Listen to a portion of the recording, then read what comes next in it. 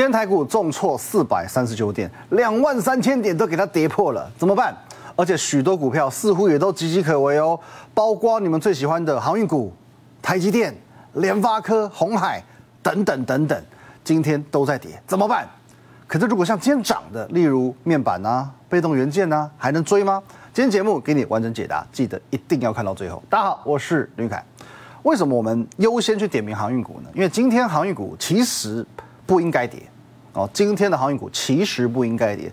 首先呢，因为今天的 AI 指标股啊，台积电、广达、红海，通通都在下杀嘛，所以资金应该是会外移一些出来的哦，资金应该是外移的。因为通常这种时候哦，钱不是到航运就是到生计，可是其实更应该要往航运走，好吧？更应该往航运走，因为毕竟航运是有利多的嘛，对吧？我们来看一下新闻哦。来，加萨战争恐扩大，现在就是以色列跟黎巴嫩的真主党再度交火哦，很可能会加深这个区域性的冲突，那不就是一个中东危机吗？那不就是航运股的利多吗？好，这是第一个。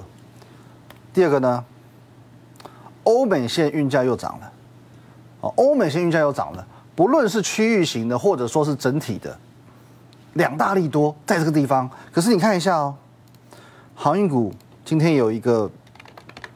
利多庆祝表态吗？没有哎，长荣拉到月线被打下来，阳明呢？哦，突破月线被打下来，万海呢？它算是最强的哦，因为它撑在月线之上，可是今天同样是下跌的，所以我觉得到这个地方，我们可以先来一首《海海连星》啊。人讲这行情，海海海，阮都好行，唔通我头望。望着的梦，有人爱着伊，偏偏阮爱的是别人。这道主到底相输相赢？我觉得唱台语还唱的还不错，对吧？好，重点是什么？说真的啦，如果航运股连两大利多来了都不涨，真的要注意，好不好？真的要注意。我一直强调，我不是要看衰你的航运股。但是我认为现阶段会有更好的选择，而且一直在我我也没说错嘛，我真的都端出更好更会涨的股票给你，不是吗？啊，像面板，我们上个礼拜聊过，它的题材不是奥运哦，哦，再强调一次，面板涨的不是奥运题材哦，是所谓的面板级封装，哦，面板级封装。那我是不是跟你讲过，真正有受惠的其实只有三档，啊，不能讲只有三档啦，就是说大家认知的好像很多，可是实质上受惠程度比较深的。其实这三档群创今天一样啊，再度创新高，还有有微科哦，有微科今天还是很强哦，大涨七点六个百分点哦。哦，东杰虽然哦有创高之后的拉回，可是其实相对还是强势啊，今天它还是强势。可是你看友达今天呢，哦，它好像有创新啊，没有创新高，对吧？几档股票里面只有它没有创新高，而且呢马上往下杀。上个礼拜我就跟你讲过了，友达只是拿香跟拜而已，只是跟着大家一起涨而已，对吧？甚至你再看财经也是啊，对吧？财经我是完全没有点名的，对。可是谁能想到，边边写平板，怎么一个天一个地？哦，群创就飞天了，友达跟这个财经还不知倒地，这不得不说还是资讯的力量，哦，仍然是资讯的力量，的确。面板及封装是一个题材哦，面板股嘛，对吧？可是你有没有注意到，实际受惠其实是另外一件事情。面板及封装它是一个题材，可是有没有实质上的受惠是另外一件事情啊。友达这么大的公司又怎么样？你没有对这些产业进行深入的了解，你还是有可能买错股票啊，对吧？包含被动元件啊，被动元件也是一样。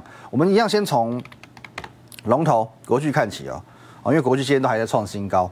对吧？哦，来创新高，我们来看一下这个图哦，导播切一下啊，来，今天七百七十二块了。那今天国际是有新闻的哦。好，小摩调高目标价嘛，对不对？受惠于 AI 需求强，目标价从六四五大升到九百块，优于大盘。那你看这边哦，一整篇的报道讲的哇，布拉布拉布拉，很多看似专业，其实都是废话。从头到尾就两个重点哦，从头到尾就两个重点，重点不是目标价。哦，目标价不应该先看哦，目标价写是写给散户看的。其实你应该要最后再看目标价，你要先把整篇文章的结构逻辑看完之后，你才知道目标价是真的假的，好不好？重点是为什么他看到九百块这个价格，到底实不实在嘛？好，首先我们来看这个，我我看到的第一个重点是什么？四月营收超出法人预期，五月营收动能人强哦，因为五月四四五月都公布了嘛。那六月呢？六月营收可能因为年终库存盘点而动能稍弱，这在干嘛？这在打预防针，也就是七月十号以前会公布六月份的营收，即便它数字不好，它都叫你不要紧张，这个是预料之中的。其实光是这个动作，大概就可以推估小摩是真的看好国巨，对吧？小摩是真的看好国巨嘛？所以我宁可先去做打预防针的动作，然后我们往下看，好来。今年全年合并营收一二六六点九亿，然后呢会扭转二零二三年的这个 EPS，渴望从去年四一点八一成长到今年的五二点六七，而且呢是五十二块高于华尔街平均值四十八块六。好，再往下看哦，再往下走哦，接着给予十五倍的本益比才得出九百块这个金额，因为给予了十五倍本益比，所以得出九百元这个目标价。按你这样一算。掐指一算，你大概就知道说，它是预估明年度会到多少？六十，六十乘十五才有九百块嘛，对吧？好，那首先来看，因为不论是五十二点六七或者是四十八块六，都叫做历史的次高。五十二点六跟四十八点六都仅次于目前国巨的这个 EPS 的二零一八年的八十块啊，国巨冲上一千三百块那一年了，那一年很夸张，EPS 赚了。八十块钱，所以你现在不论是五十二块或者是四十八块，都变成是历史的次高，仅次于二零一八年。那如果明年真的看到六十呢？等于今年创历史次高，明年再一次的去创下历史的次高，而且它是连续两年的正成长，对吧？因为去年是四十一块嘛，今年假设五十二，明年再六十，哎，连续两年大幅度的正成长哦。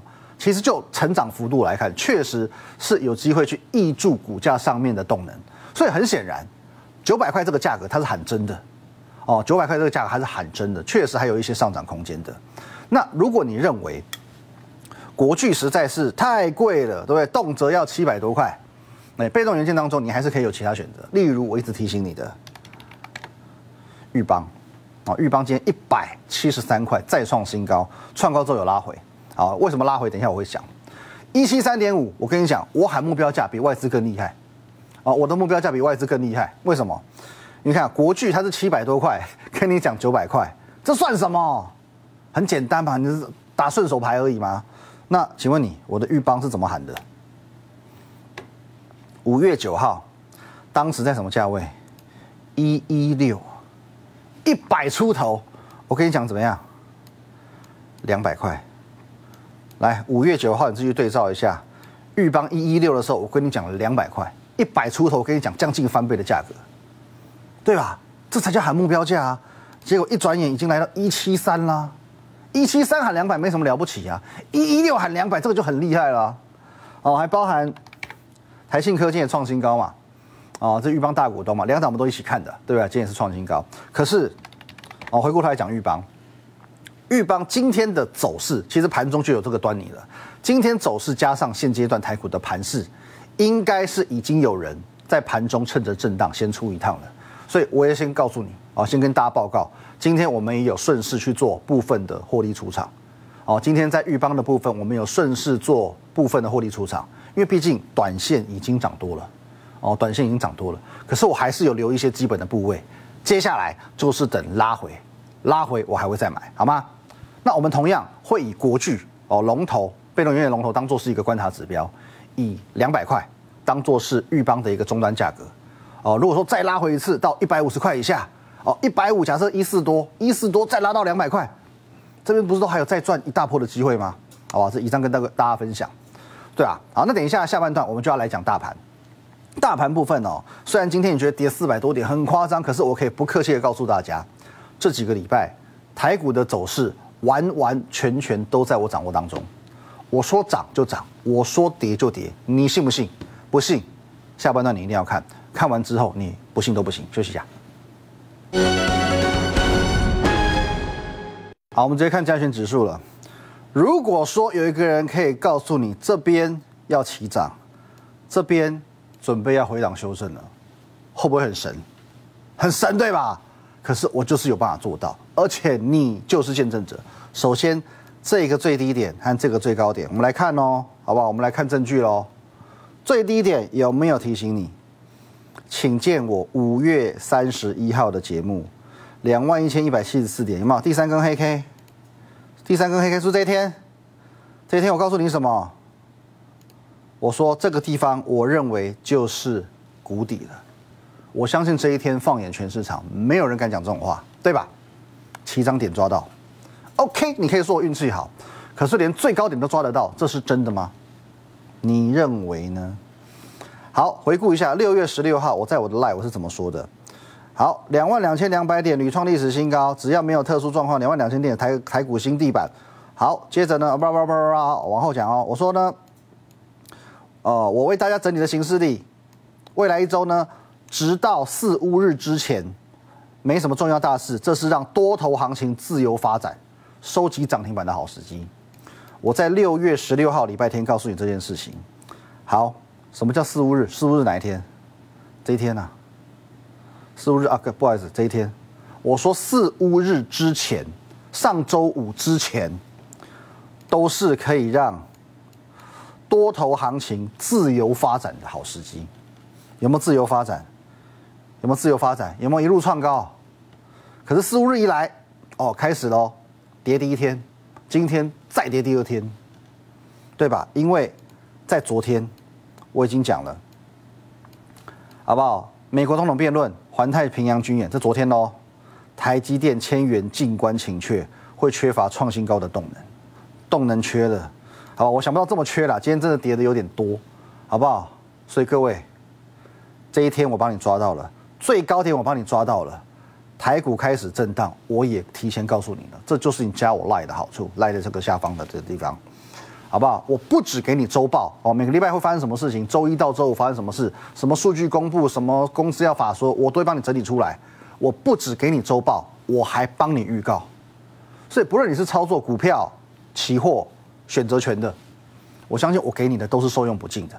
那既然过去我都是对的。那你就请你注意听我讲，你只要仔细聆听，勇敢执行，未来的你就会是赢家。台股的震荡只是一时的，你必须要趁着这段时间的回档整理，好好去汇整你的资金，整理你的持股，因为接下来将会出现下半年行情最好的机会。那当然，我们必须确认下半年是有行情的嘛，这部分你就不用担心了，好不好？一来，美国总统要选举。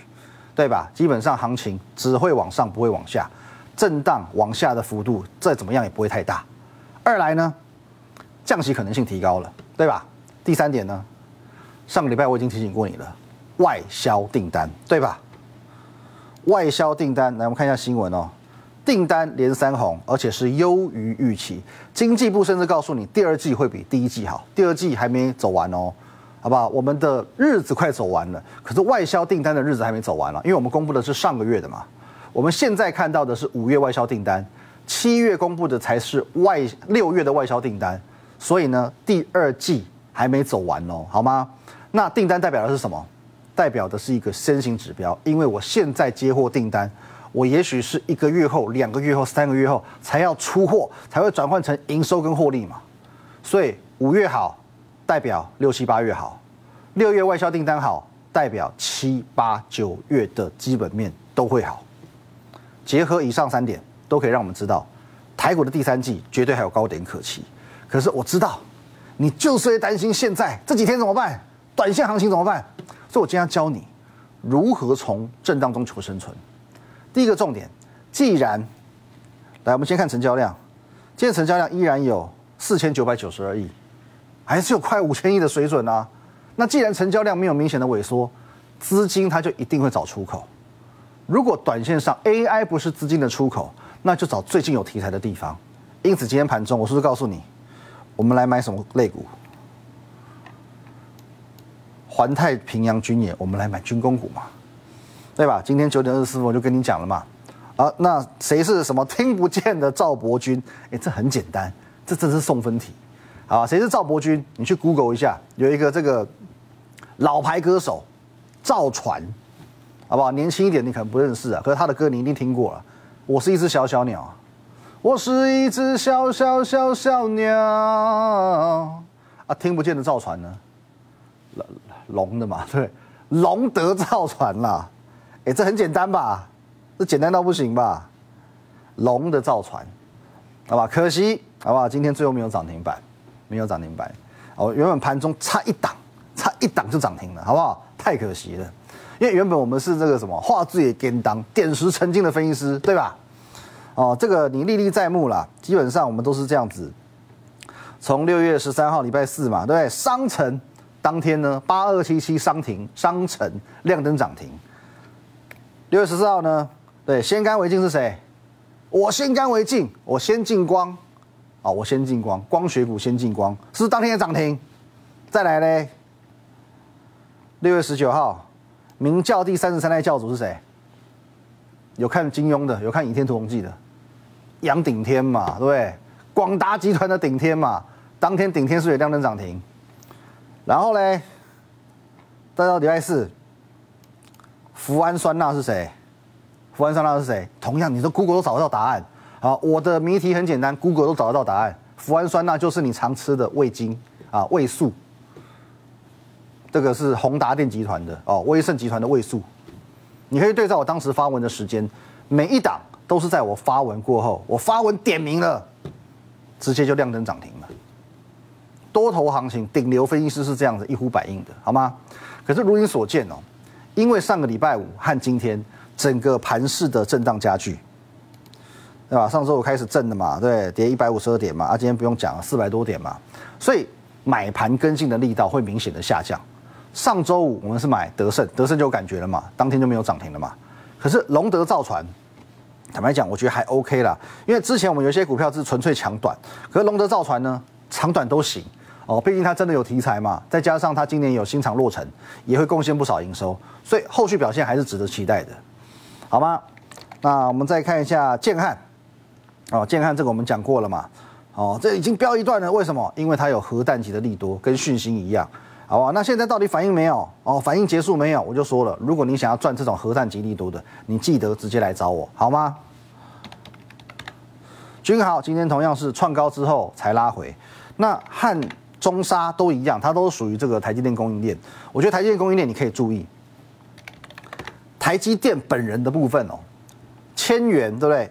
来到九八四之后开始震荡，哦，震荡，对，今天还回档到九百四十块，哦，千元这个心理关卡果然开始震荡，可是供应链往往会先止稳先发动，所以这个部分你还是要值得留意。可是发动时间点会在什么地方？你要听我的，因为这个节奏相当相当重要。你错过台积电，你错过这这一阵子台积电供应链，哦，你没有跟着台积走，获利都没有的，好不好？你务必要来找我，好吗？那再来，我们再看。云豹能源，天哪，这真的是心头痛啊！连续三只涨停板了，一错过就是三只涨停。这档股票一定要放在你的自选名单里面，拉回就是要买。可是透过这档股票，我们可以再一次去感受到接获政府标案的威力。我们就讲了，华晨不是吗？一档去年 EPS 赚九块多的公司，可以飙到九百多块，这不够夸张吗？好不好？云豹能源也是一样，差不多的题材，所以呢，一转上市，马上先标三只涨停，这个有回档，千万要留意。那当然，讲到标案，你就知道我们要看谁。世纪钢今天回档的幅度也稍稍重一点，跌了三点八个百分点。哦，你看一下哦，连续几天，一二三四，连续跌了四天了，对吧？创高之后已经连跌了四天了。来，你看看什么叫做顶流分析师？记不记得在最高点这一天？三七三点五元这天，我怎么告诉你的？六月十八号最高点这一天，三七三点五，我说现在开始操作难度会提高，操作难度会提高。话才讲完，隔天开始跌，难度高不高？真的有够夸张的高。其实你发现，哎，这到底是影响力还是什么？多头行情我们是喊多，马上点名就涨停。哎，那有些股票反而是这个样子，对不对？当天红硕涨停板，我说要不要列入我们这个涨停板英雄榜的计算？不用，因为我们没有买。我有分享，我有告诉你这张股票值得留意，没有错。可是问题是我们团队没有买。哦，我说红硕不算哦。话才讲完，隔天红硕直接跌停给你看，对，还有这个新日新嘛，新日新也很夸张啊，对不对？六月十七号，我告诉你，我们先做一趟获利出场，隔天新日新打到跌停，啊，不就是这样子吗？怎么会这么巧？我讲完股票，当天就涨停。我节目上说我要卖出了，操作难度提高了，这档股票我没有，隔天就跌停。什么叫指标？什么叫做市场风向球的分析师？可新日新好不好？注意一下，我已经讲过了，我要开始找买点了。哦，我要开始找买点了。这边月线附近撑住的话，其实月线附近说不定就是一个还不错的买点。然后包含十圈也是一样，对吧？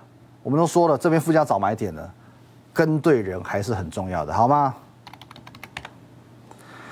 来，世纪钢，注意一下，下半年还会有一个高点，可是你不要自己乱买。好不好？因为我说过了，买点很重要，进场点已经决定百分之九十的成败。我打个比方，假设说世纪钢这边，哦，跌到两百再弹上来，结果你三百进去买的，你扛得住吗？好不好？你为什么不跟着我买两百呢？我只打比方哦，好不好？所以你买点非常非常重要，你要买在一个最佳的支撑点，你不只要买在最佳支撑点，你最好还能跟着最指标的分析师买，就不太会错了。什么叫最指标分析师？哦，这边真的节目最后我们要郑重的感谢大家，我们有一个成就哦，叫做一级分析师达成了，好吗？感谢各位，让我在今年还没有过半的时候完成一级哦一亿这个里程碑，这是很值得跟大家分享的，也可以让你作为参考的一个指标。现阶段我们的团队当然有很多朋友是新加入，可是其中让我们的这个达到一级这个水准哦。最大的成分还是在于团队成员的续约。那其实你就思考一件事情：如果我的会员他没有赚钱，他会续约吗？会续到亿级吗？不可能的事嘛。那你有没有想过，如果续约我们的会员续约可以续到一个亿，我到底是让他们赚了多少钱？有没有可能是五亿、十亿以上？所以那是相辅相成的道理。我有这样的获利能力，我有这样子的影响力，一直交叠、交叠、交叠上去。我们点名股票会涨停，我们卖错股票会跌停。这种能力跟影响力交叠上去，所以不论是加入我团队的人越来越多，还是市场关注我的人越来越多，跟单的人越来越多，都是让我们绩效可以再往上提升的一件事情。所以这个一级，我觉得是很值得肯定的。那我同时也相信，你放眼全台湾。能够在今年还没过半就达到一级实力的屈指可数了，应该是五个不到，甚至是三个不到。哦，有些吹牛的你很容易破解啊，整家公司营收都没有破亿，他跟你讲他破亿，对吧？所以感谢大家的支持与爱护。六月最后几天，我决定要推出一个限时的感谢季，年终感谢季，也希望趁着这一波台股的回档，我们一起来好好布局，一起共创双赢。那一样，你可以拨打我们零八零零专线，或者先加入我的 Line。at win 一六八八小鼠 wn 一六八八八，任何问题线上询问，我们连接。